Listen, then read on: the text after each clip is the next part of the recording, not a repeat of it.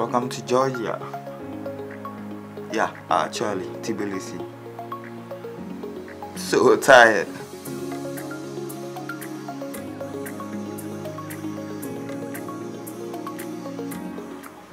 This room is amazing. I'll do a room tour in a minute, but I need to clean things up, you know, find coffee and I'm so confused inside. I don't know what time of day it is. I don't know. I just know I'm here and um yeah, we are here to shoot different things, make cool videos, experience different culture, and I'm so down for that. Should be a fun day.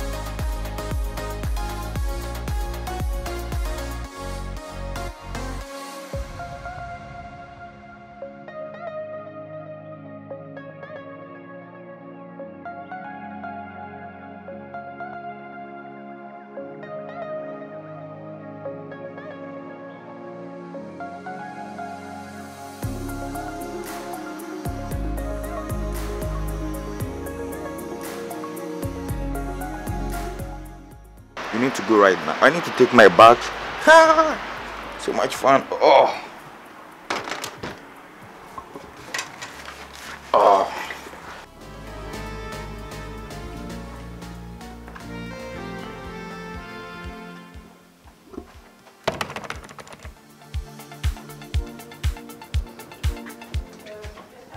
Hi guys.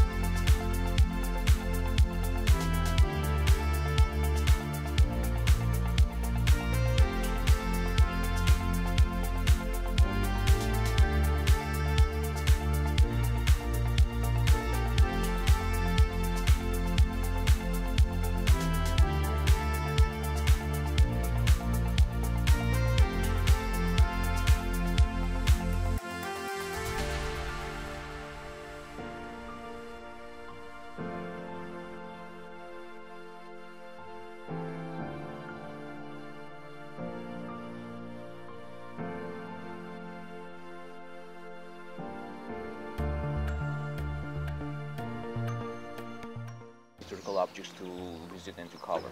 Uh, so uh, the place where we are now is called Bodbe. And uh, this place is very special for us because here, is buried a 14-year-old girl who preached Christianity in Georgia in the 4th century. Uh, by the way, uh, she, when she passed away, she was uh, 70, approximately in, in her 70s. Uh, so she was 14 years old when she came to Georgia uh, and she went to Asian capital Mtskheta she started preaching Christianity there. But at that time people worshipped idols and no one believed her. Uh, and our queen had cancer and everyone believed that she would die in a couple of months and uh, there was one lady who told her uh, go to Saint Nino's place and she does miracles and she will help you and she will cure you.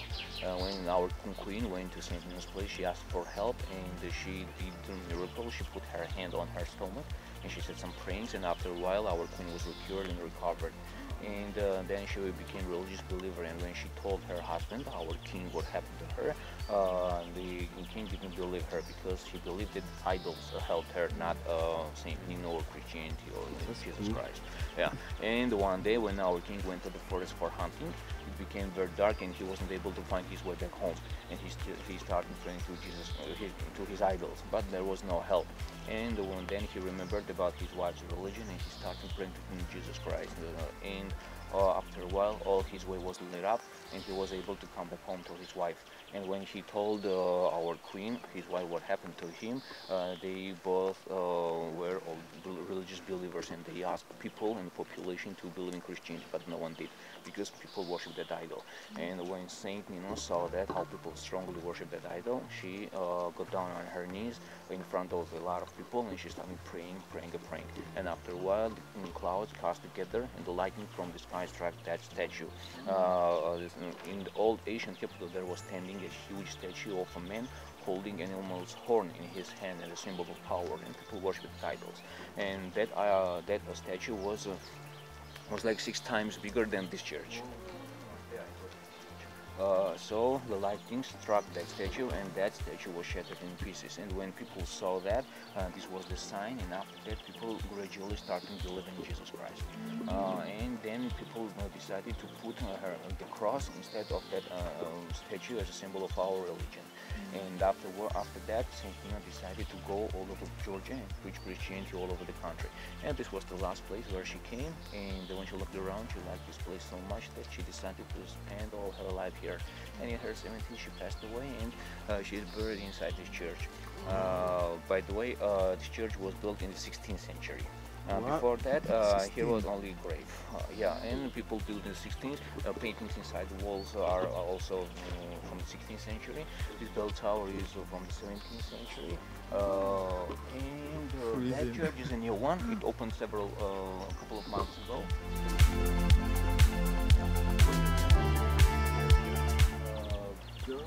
need to cover your head.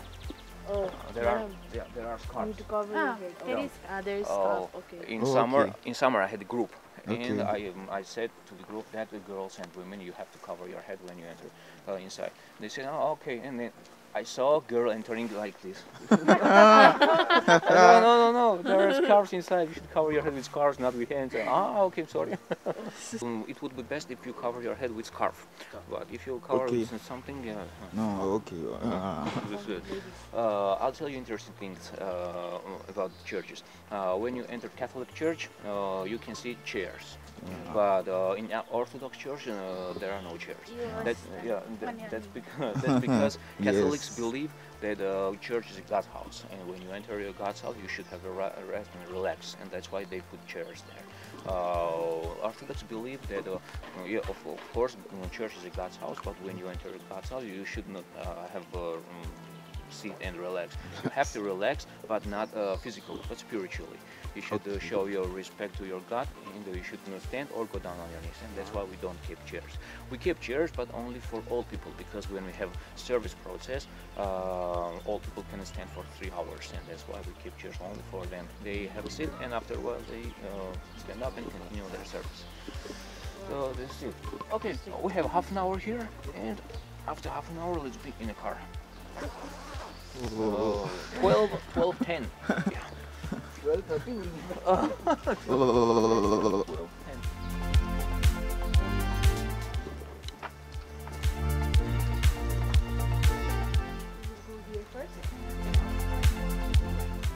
This is fun. Uh, inside this uh, photo shooting is. Hi guys.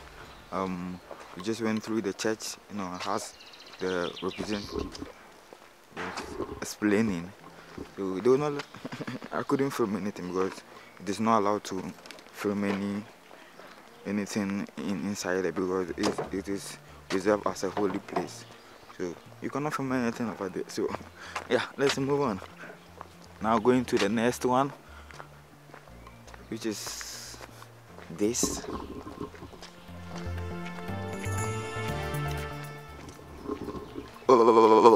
It's so cold. Moving on, but I need to turn this off before I go inside. So see you later.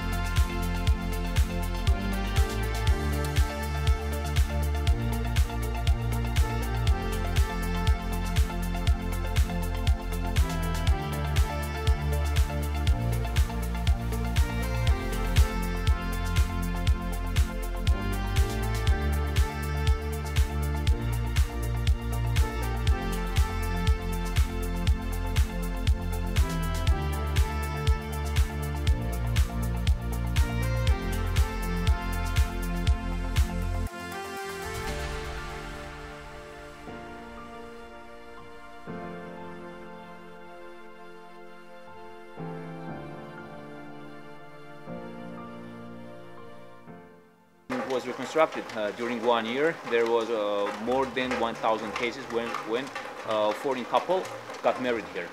Oh, okay. only only foreign couple, not Georgians. Only foreign couple, and that's why they call it city of love. Oh, okay, okay, okay. So that's it. Uh, by the way, in the uh, 13th century, many tribes and enemies tried to invade this place. Uh, and here, the- then uh, here was very small population. And when our king heard about that, he sent huge army here, and he surrounded all the city with a defending wall. From here, you can see that wall. Come on, I'll show you. You see the tower Yeah, and yeah, arc. yeah. that's the defending wall surrounding. Ah, okay. Um, this enemy tried to invade this place and conquer this place. And we had wars. Is this people residence, right? No yeah, yeah, people residence. There are also many guest houses, hotels, but mostly people residence. So this is it. Uh, you heard about Chinese Great Wall? Yes. Yeah. Yes, it's This is similar Georg- like that. Yeah, it's similar like that. This is Uh, Georgian Great Wall. The So Great this is Wall. Huh? The yeah, Great yeah, Wall. tourist walk on top. Ah, okay.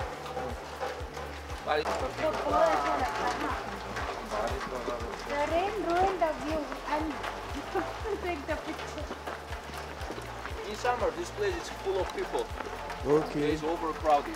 There is open bazaar where you can buy souvenirs and anything what you like.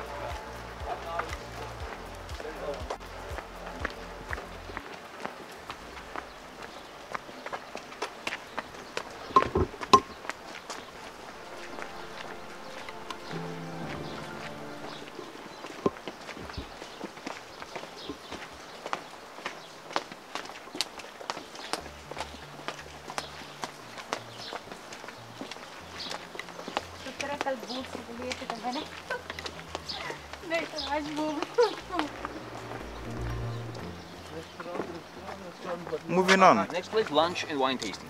Oh, any, any market nearby there? I have dinner and um, wine and I have no idea what I'm going to have over there.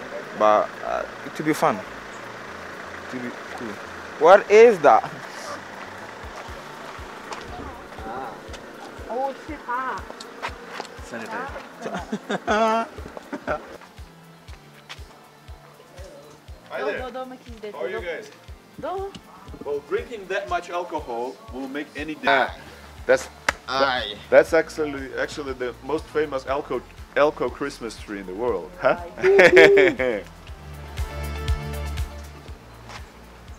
Kakheti. Question. So, how was the terrible rainy day in the city of love? Ooh, yeah.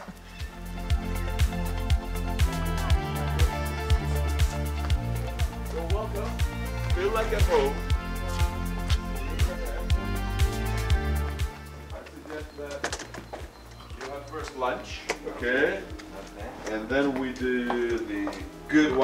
Good wine tasting, Wow. Eh? which will make you forget about the rain, about bad weather, about, about coronavirus, and about the stuff which is Okay, happening in the world. So alright? you you are the ones who's doing the, all the vineyards and making I, it all. I'm the owner of this house, and I'm a winemaker. Yes. Okay. That's okay, cool. good. And I read, I read most of this book, but no, no, no, no.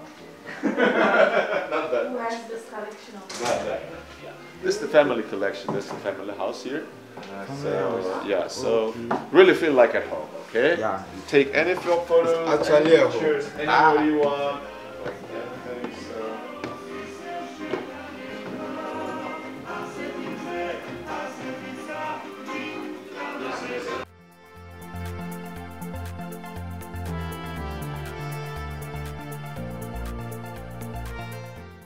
Machine. Okay, and I'll show you how it. Cha-cha distillation.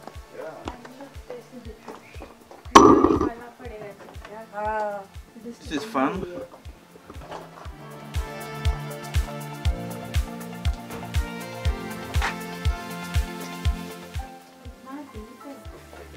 So you do the fire over here? Yeah, I'll show you how it works. Yes, And this is this is the real homemade cha-cha, Okay. which we produce here. Okay. So, Let's come everybody outside so it will be a nice video. Out. So see, look at this. So this is the fire. Okay. Yeah. Okay. And then here in the copper thing, you have the grape remains. And then you can start following me on, Inst- uh, on Instagram, Instagram, and you will yes. see all this. So then the hot air here comes th- uh, with the alcohol comes through this tube, okay? And this is the cooling system. There's the cold water in here, okay? So that hot one goes through the cool water in the Okay. tube. It condensates, Okay. Yeah. okay, and it turns into liquid and comes out from here. So that's the that's the easy No, uh, and process. w- I That's mean, science. these- what these what, are what we put in here and what we do the cha-cha from, I will show it to you. Okay. Uh, आपका husband सच में किधर गया? पता नहीं I don't know Oh my god, he's lost. he's lost oh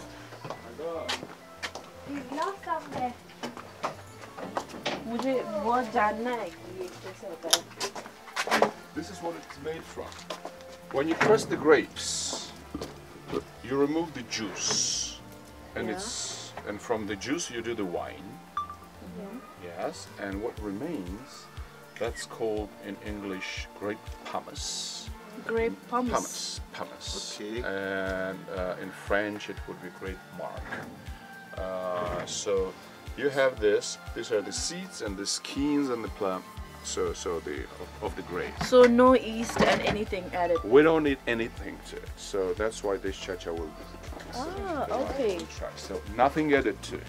So Okay. just you mash it, take out the juice. Yes, exactly. Juice will be wine and Juice the will mashed be wine part, and the mashed part you boil it Mesh part, you put it in here. Uh huh. You just close this. Water or no water? No, no water because I leave a little bit, like 10% of liquid, the wine in there. So you don't need to add water. Ah. If you add some water, if you dry this to the very end, squeeze everything out, then you have to add some water. When you add some water, the sugar levels drop down a little Yeah. bit.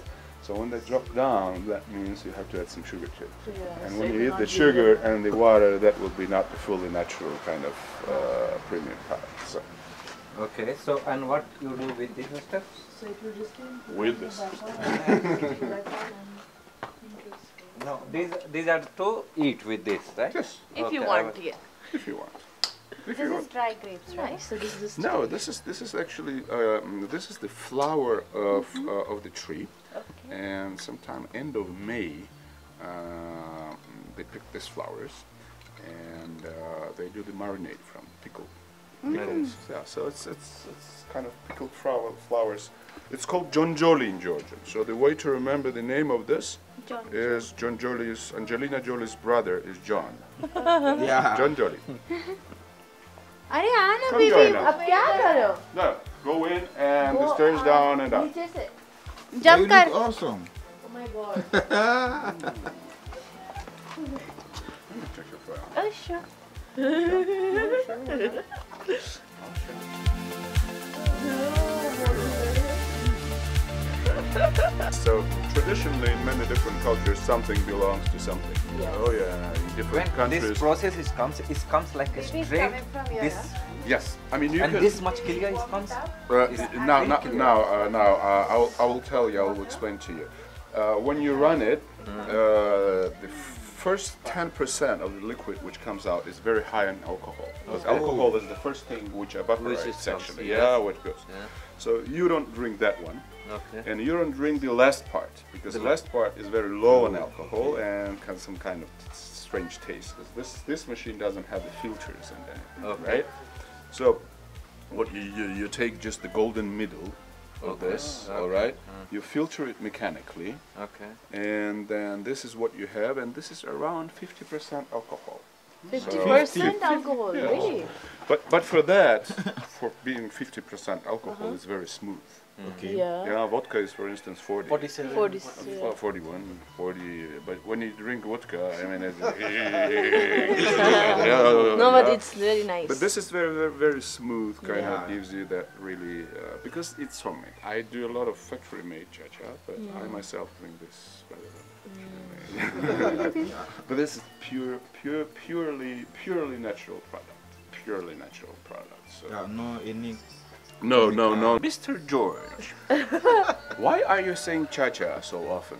And I'm like, because this is called cha-cha. And she's like, thanks God. I thought I thought it was our uncle was here. what? Because cha-cha means means uncle in Uncle, Indian. yeah. Ah, and then, and I said, so explain it to me. And she's like, we are on a very nice trip. I saw the snow first time. And uncle is very strict, though I hoped he in Dubai. he, he stayed in, in Dubai. He didn't come with us. So, so every time I was saying cha-cha, she was looking for me. and then she taught me that it's cha-cha. That's uh, father's brother, right? Yeah, And then it's Okay. chachi. Yeah. so, Yeah.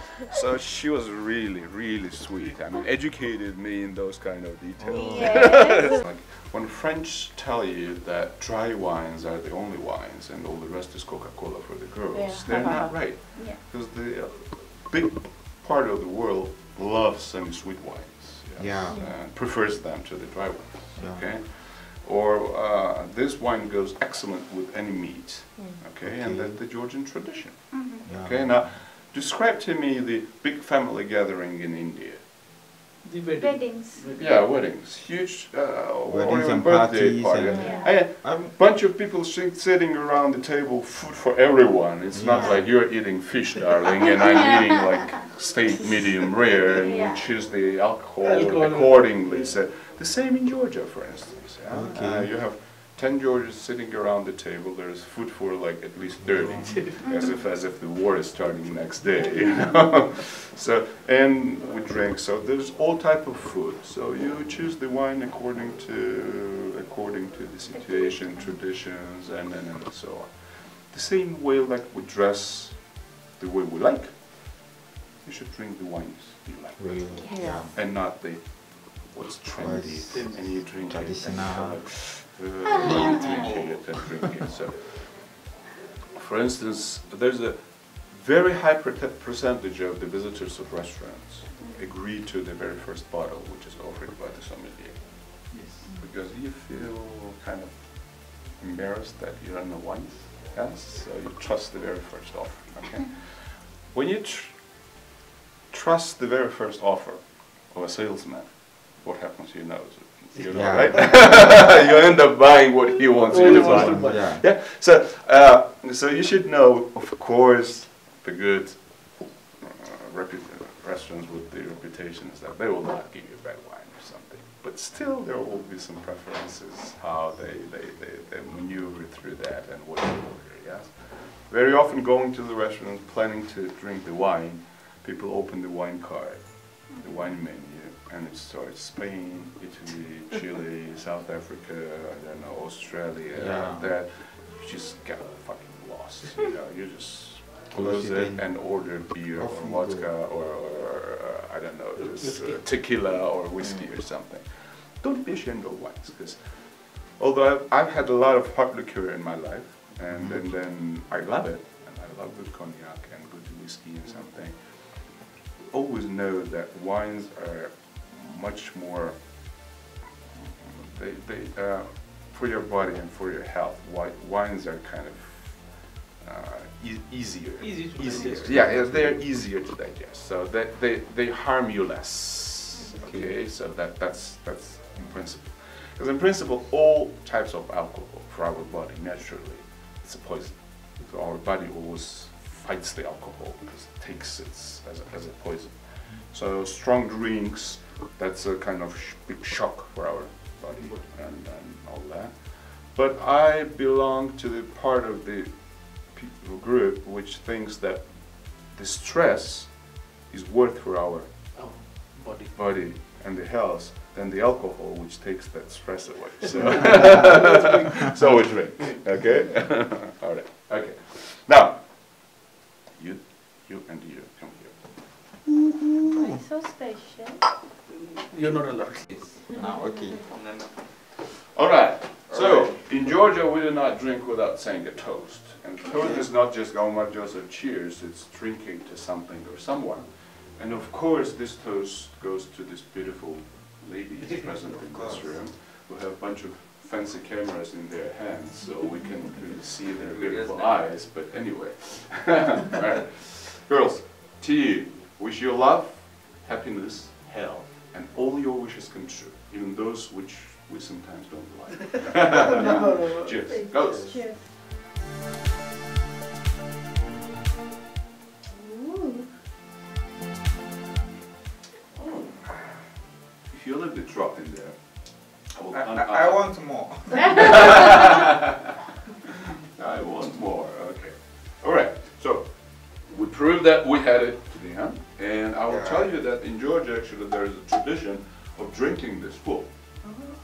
This would be approximately one bottle. And What is this made of? Uh, it's the horn of the buffalo, or something like. This is the Oh. horn. This is the horn of the wild goats. Okay, so um, okay, yeah. yeah, so this So is, the- it's, it's always there's a hole inside. it has to. You have to put pour something in. So there are big ones, there are small ones, there are like really small ones. Okay, uh, you can do it from this. You can have it from from from clay. Okay, so but this is the tradition traditional uh, part of Georgian traditions to drink from the horn. Of course, not every day and not not not at at every occasion, but mm, you know that's just part of the drinking culture. So what happens, for instance, if you have if you have the wedding or something, so you would have first a toast to the god and then then Yeah. to the family, and then when you drink to to the bride and bride, you just tam- tamada, the toast maker, would fill this up to the end, okay, and would would toast, drink it, and then this one goes around the table. So you would have probably at the big weddings, you would have like ten like this. So everyone is, and you fill it, drink it, fill it up. You say that, show that it's empty. You fill it up and give it to the next one. Okay. So so everyone gets fucking drunk really fast. Alright guys, I'm back home from the trip and I learned so many things today. If you also learned something, hit the like button, subscribe if you haven't already, and I will see you guys next time. And try to stay safe because this corona is getting out of hand. Try to sanitize your hands, wash your hands anytime. Yeah. Bye.